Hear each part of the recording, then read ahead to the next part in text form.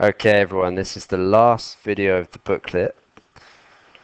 Um, and this is on the mean of group data. So you may have done this at GCSE, you may be pretty rusty at it. Um, we're going to talk about how to do it manually, and then we're going to talk about how to do it using your calculator. We're not necessarily going to talk about how it works, because hopefully you kind of know how it works and it will probably be covered in class. But when you've got group data like this, okay, first off, this is discontinuous group data. All right, because it goes from 21 to 22, and this length of pine cone, this has been rounded to the nearest millimeter. So how do we know that it wasn't 19.6 millimeters here? Or 19.5, so in other words, the upper and lower bounds, you see?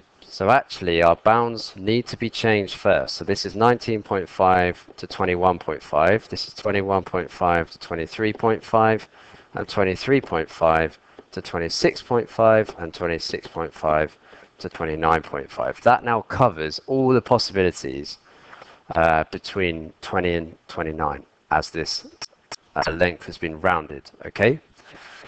Now the formula for finding the mean, which is known as x bar, is the same as sigma f of x over sigma f. Okay. Um, so actually, for this video, we don't need this f of x squared column, so I wouldn't worry about that one. Actually, we'll take that out. Uh, you would need that for what's called a standard deviation, and I think we'll save that for when you get hit, get into college. Okay. So sigma fx over sigma f. And that makes sense, doesn't it? Because we know the mean is the same as all numbers added up divided by the number of numbers that there are. Okay? So this is your f column here. So sigma means add up, right? So we're going on. This is part of that Ouija bit of the board. Who's on their Ouija board? Uh, okay. Sigma means add up. So sigma f means add up all the f's. Okay?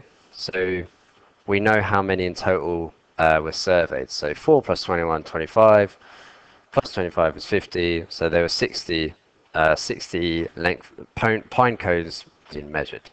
Okay. In order to use this formula though, we need this value of x, don't we? We need a value of x. But how can we generate a value of x if we've got this bracket of possible x's? Well, it seems logical to pick the mid value of that class, okay?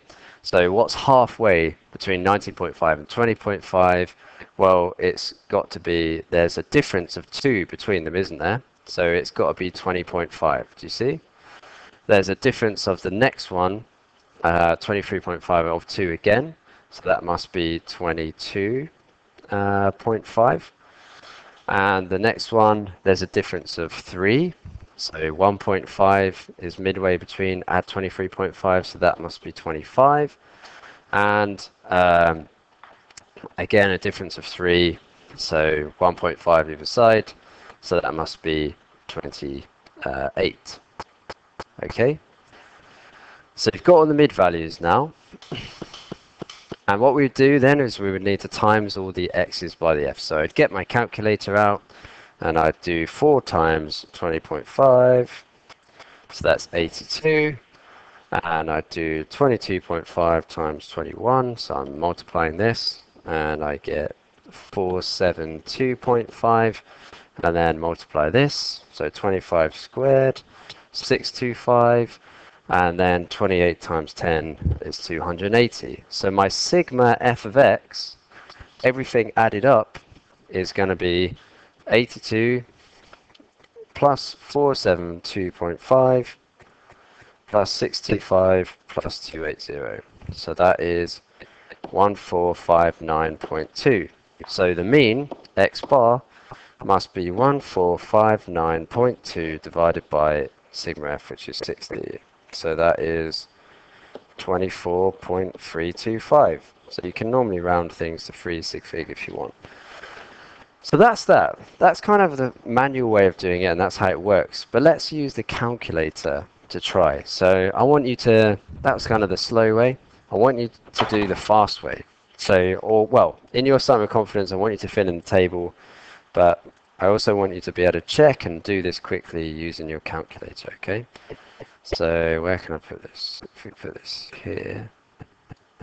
Alright, so how to do this, okay? So follow through with me. You need to go into stat mode, okay? So you're going to press mode and then stat, which is 3, and just press 1 for one variable. So you can see you're going to have a table like this. But you want to, so that's like the equivalent of this x, uh, of the x part, the mid value, yeah? But you need the frequency part, the f part.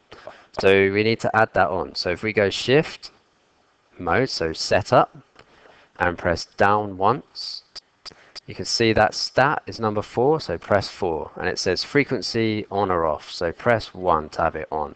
So now you've got that x and frequency in there. So just fill in the stuff. So you need to work out the, the middle value, that mid value x first, manually.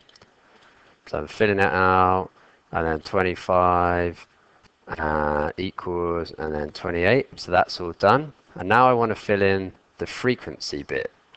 So if I move across, and then put in my 4, and then 21, and 25, and 10 equals. Now press AC. And if you go shift 1 stat, don't go mode to stat because then it will clear everything. And you want to press 4 for variance. So shift 1 and then 4. And you see that variance? We're looking for X bar. So if we just press number 2, X bar equals, bang, 24.325. Okay, so I want you to practice both in your starting with confidence booklet. And that's it. Well done for finish, finish.